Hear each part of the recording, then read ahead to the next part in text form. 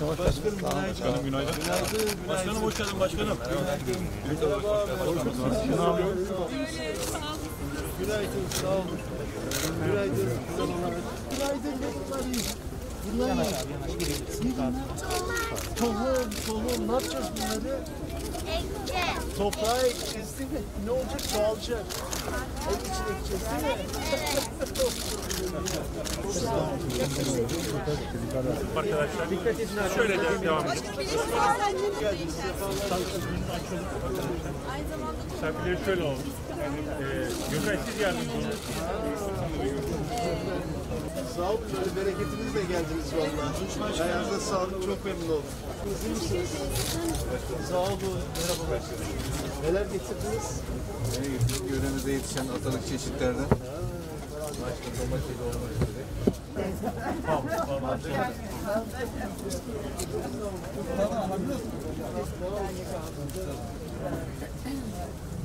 Çok güzel bir gözüküyor.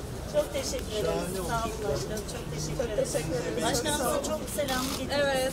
Küçük bir tane Aynen. Ee, Neptün Hanım. Neptün Hanım. Çok sağ olun. Eksik olmayın. Atakumumuzun simgesi, Samsun'umuzun simgesi. E, Evet ya. Çok heykelimizi. Çok olun. Biz çok teşekkür ederiz bizi teşekkür davet ettiğiniz için. ederim. Çok Çok sağ olun. Teşekkür ederiz. Çok Sağ olun, teşekkürler. Başkanımız Ahmet Bey'e selamlarını getiriyoruz. Bizden de çok selam. Çok memnun olduk. Ne güzel bereketimizle geldiniz.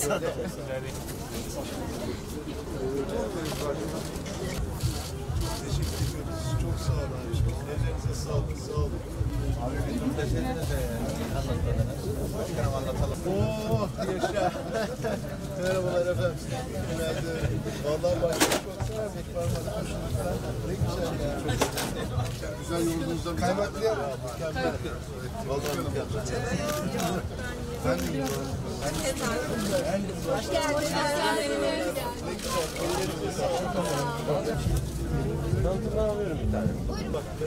Merhabalar. Hoş geldiniz. Hoş geldiniz. Evet evet evet. Merhaba. Çok memnun oldum. Nasılsınız? Çok memnun oldum. Teşekkür ederim. Harika gözüküyorsunuz. Çok teşekkür ediyorum. Çok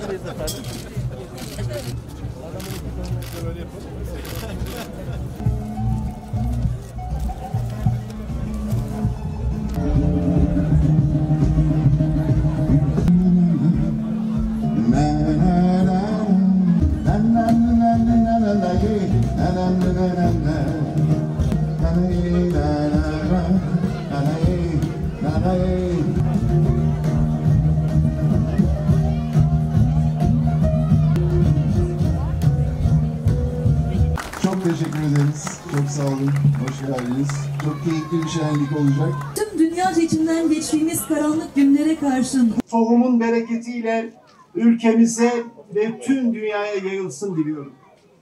5 Şubat 2011'de ilk kez Seferihisar'da gerçekleştirdiğimiz tohum takas şenliğinden bugüne kat ettiğimiz yol bizi gururlandırıyor. Aradan geçen 11 yılda sadece atalık tohumlarımızı korumak ve çoğaltmakla kalmadık. Aynı zamanda o tohumları var eden ana düşüncenin doğayla uyumlu ve sakin bir yaşamın da tohumlarını çoğalttık, Türkiye ve dünyada yayılmasını sağladık. Değerli katılımcılar, tohum asıl varlığını kendini çoğaltma gücünden alır.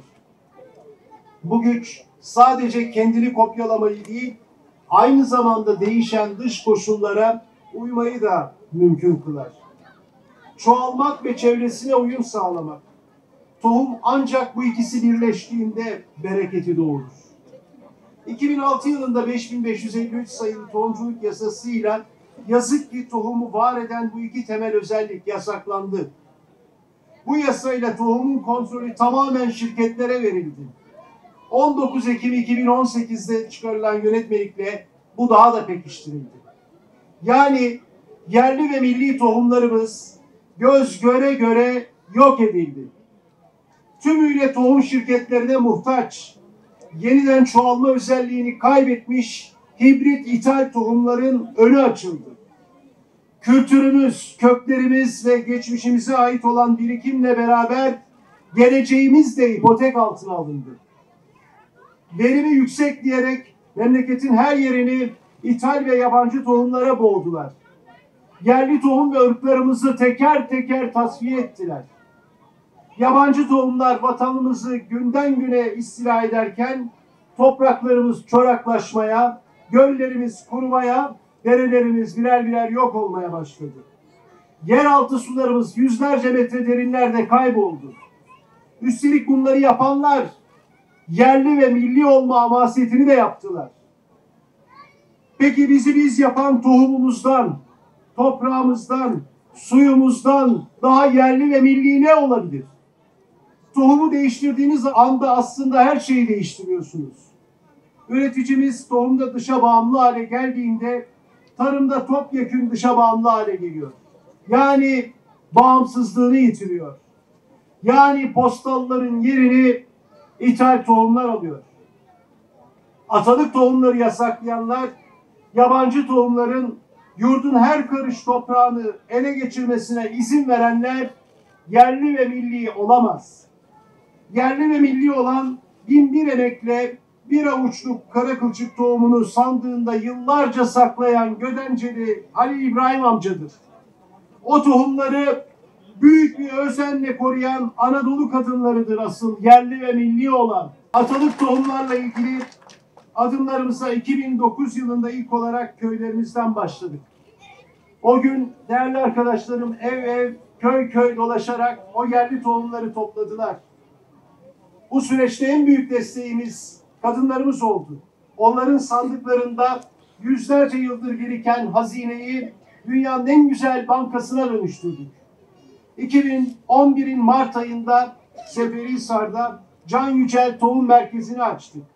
Aradan geçen 11 yıl içinde sadece İzmir ve ilçelerinde değil, yurdumuzun dört bir yanında yavru vatanımız Kuzey Kıbrıs Türk Cumhuriyeti'nde tohum sakat şenliklerinin düzenlenmesine eşlik ettik. Ve Seferihisar'dan tam 10 yıl sonra geçtiğimiz Mart ayında Bornova Aşık Veysel Parkı'nda Can Yücel Tohum Merkezi'ni açtık. Aşık Veysel ve Can Yücel gibi iki ölümsüz ustaların ismini Anadolu'nun tohumlarını ölümsüzleştirmek için aynı mekanda buluşturduk. Bugün Türkiye'de yerel tohum ağımız İzmir'den Ardahan'a, Kars'a uzandı.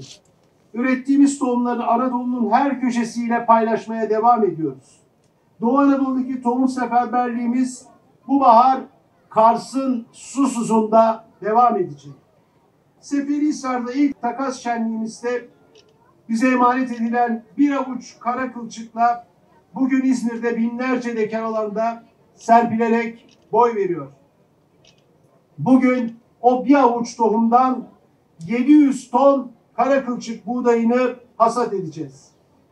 Üreticimizden de bu kara kılçık buğdayını 7 liradan satın alacağız.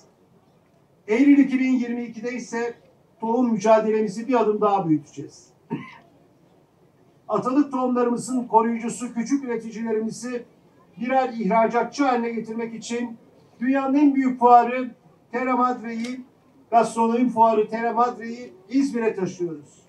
Madre Anadolu Fuarı İzmir'in refahını büyütmek ve adil paylaşımını sağlamak için attığımız en temel adımlardan biri. Değerli konuklar, önümüze konan tüm engellere rağmen ülkemizi yoksulluğun ve kuraklığın pençesinden kurtaracağız. Bunu bir tohumun zekasını rehber ederek onun sadelikten aldığı güçle başaracağız.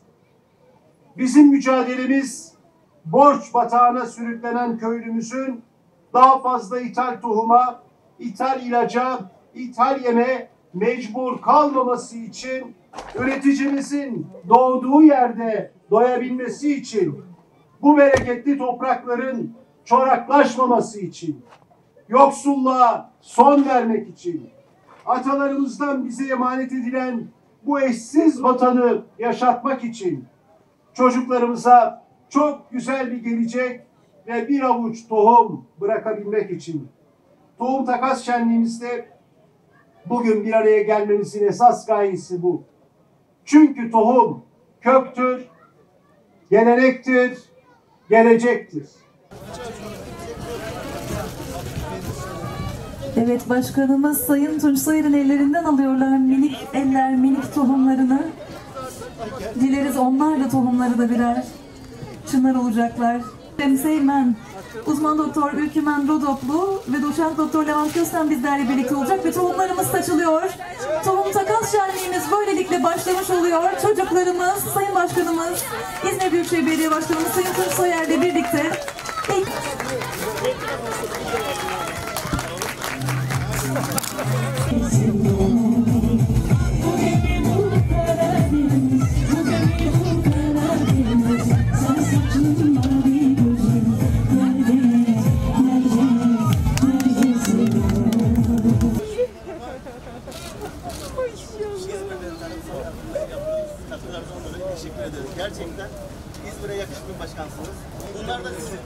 Yani bu ektiğiniz tonlar için meyvesi. İnanın, inanın kırsalda çok emeğiniz var. Hep de anılıyorsunuz. Bak, Allah şahane olmuş. Ellerinize sağlık.